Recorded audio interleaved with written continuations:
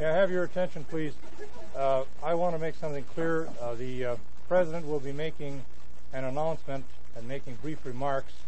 Uh, thereafter, he will not be taking any questions, and uh, Mr. Terhorst will not be taking any questions either.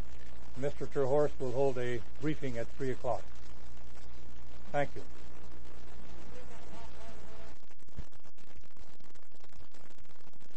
President of the United States.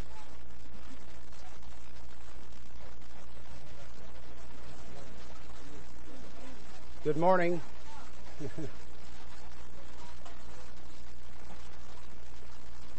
Number one, it's a nice opportunity this morning to uh, get reacquainted uh, with many of you who suffered with me when I was uh, over here with Ev Dirksen and subsequently with uh, uh, Hugh Scott. So let me say that I look forward to meeting the new faces, and it's a pleasure to see those that I've known before. I uh, have two profound uh, announcements to make. We will have one of yours as my press secretary, Jerry Terhorst.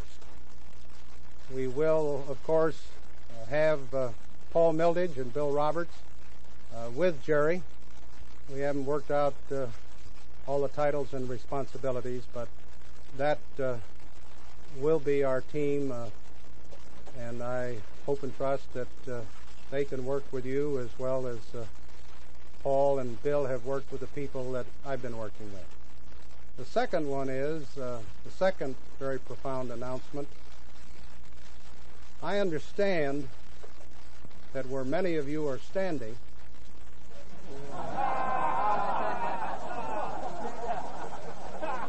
there is a swimming pool. And you know my uh, great interest in uh, aquatic activity. I haven't made a firm decision yet. Uh, I don't know whether we should solicit your uh, recommendations or whether we should uh, just uh, confine it to the National Security Council or some other very important body.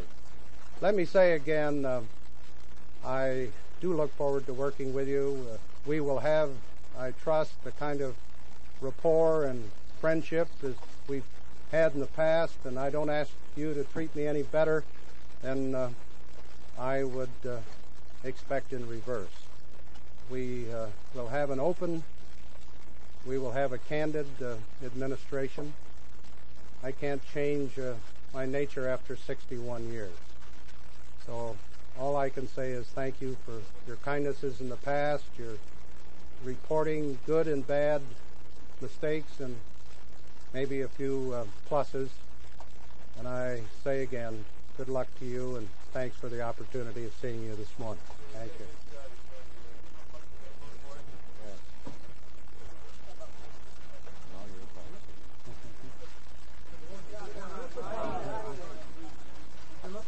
I should tell you uh, that uh, Jerry Terhorst uh,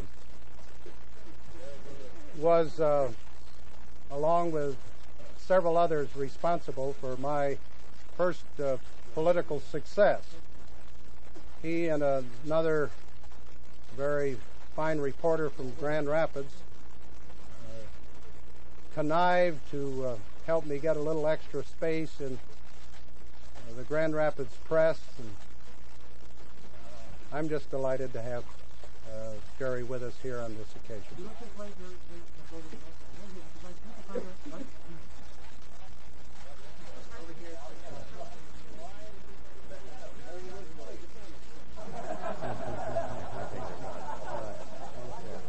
Thank you very much.